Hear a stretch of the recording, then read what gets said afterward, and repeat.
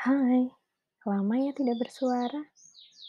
Yang biasanya berkeluh kesah setiap ada masalah, ini tiba-tiba menghilang tanpa pesan. Mana bukan cuma sehari dua hari, bahkan berminggu-minggu. Sejujurnya, aku hanya perlu istirahat, karena sudah terlalu lelah dan tentunya butuh ketenangan. Menjauh dari orang-orang toksik sedikit membuatku lega. Aku capek ketika mereka ngajak ketemu cuma mau ngebahas keburukan orang terus. Aku nggak mau terjebak di circle yang seperti itu. Aku perlu mengembangkan diri untuk mencapai mimpiku. Cukup rasanya berhahaha ke sana ke sini.